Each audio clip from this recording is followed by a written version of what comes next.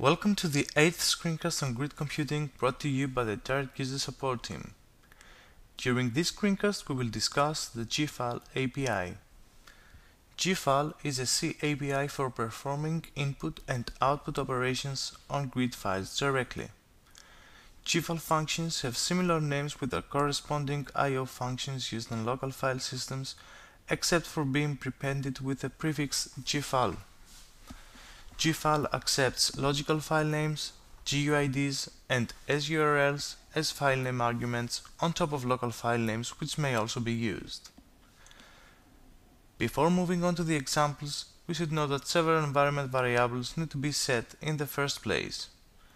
These are the LCG GFAL infosys variable, which should point to the BDII server, the LCG catalog type variable, which in our case is LFC, the LCG GFAL variable, which should be the name of our virtual organization, in our case this is the HGDemoVO, and optionally the LFC underscore host variable, which should point to the logical file catalog service. We now turn to a few simple examples and log in the user interface using PuTTY. Once we are inside the user interface, we then export the appropriate environmental variables LCG GFAL infosys, LCG catalog type, LCG GFAL VO, and LFC host as discussed earlier. On a per user basis, these should be set accordingly.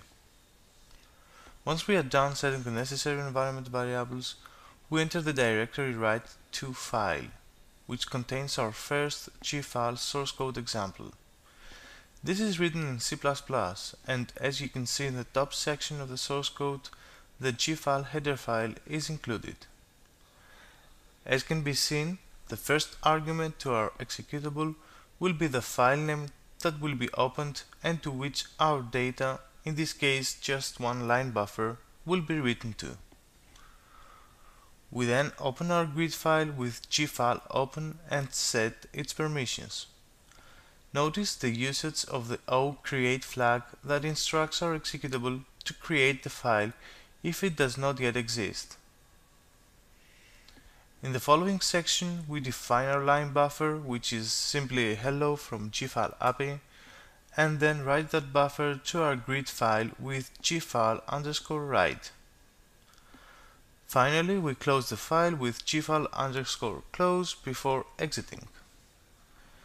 To compile our source code, we will use the G++ compiler. Notice however that as the header files and the gfal library are not in the system's include path and library path, I have to explicitly define the include and library directories for gfal.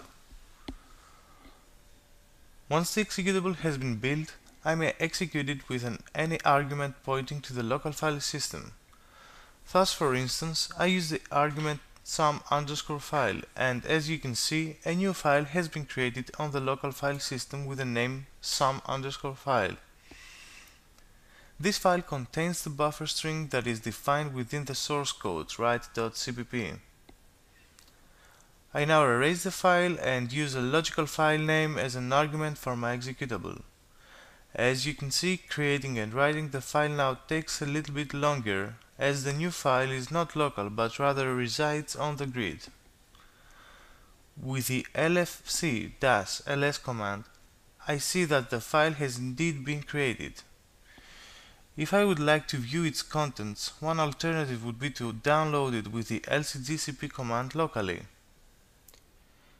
As a first argument to the lcgcp command, I provide the logical file name of my grid file and as a second argument I define the file name under which my file will be stored on the local file system.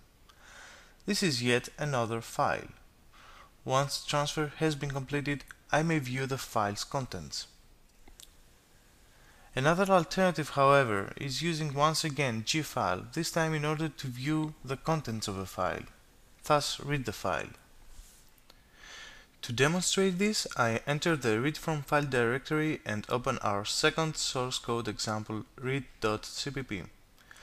Notice that we now open the file with the read-only flag in the gfal underscore open function call. we next write its contents to a character buffer using the gfal underscore read function. Once this has been performed, we close the file with the gfal underscore close and exit the program. Once again, to compile the source code, we have to explicitly provide the include and library directories for the header and library files. Once the compilation has been performed, we may directly fire up our executable and provide as an argument the logical file name we previously wrote to using gfal. As you can see, the contents of the grid file are written in the last line of the output.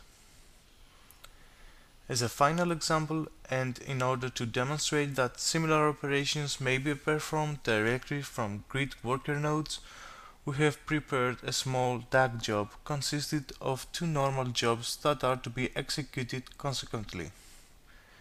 In the first normal job, we use a gfal write executable to write a new file on the grid and in the second job we use the gfal underscore read executable to read that file from the grid. Notice that in the two executable shell scripts, one per job, we also take care of exporting the necessary environmental variables prior to executing the two executables. To submit the job, we use the glite wms job submit command as usual.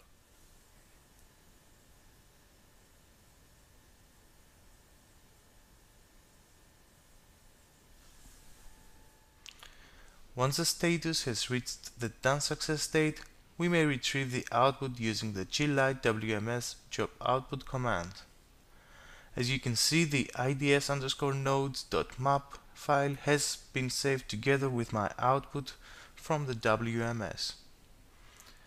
I now browse to the output files of the write job and as you can see the error file is empty and the output file contains the output of my executable.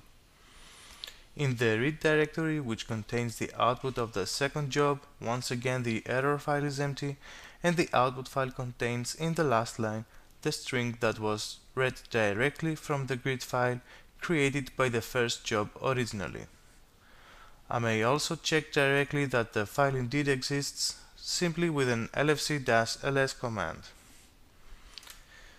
This concludes our screencast of the gfal API. Join us in our next screencast where we will be discussing the job perusal mechanism used in order to get real-time output files directly from a grid job.